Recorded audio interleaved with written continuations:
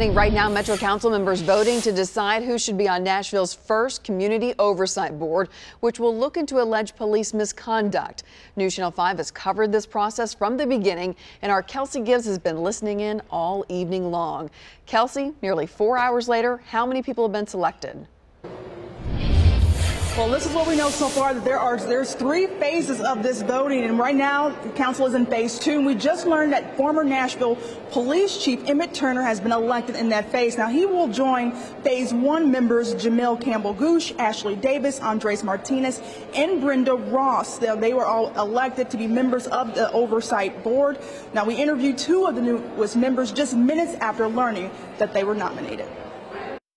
I mean, it feels amazing. You know, uh, it feels amazing because I think this is an opportunity that our community gets a chance to build relationships that are not present right now. This is amazing. It's a great honor, but an immense responsibility, and I'm just really excited and uh, quite humbled.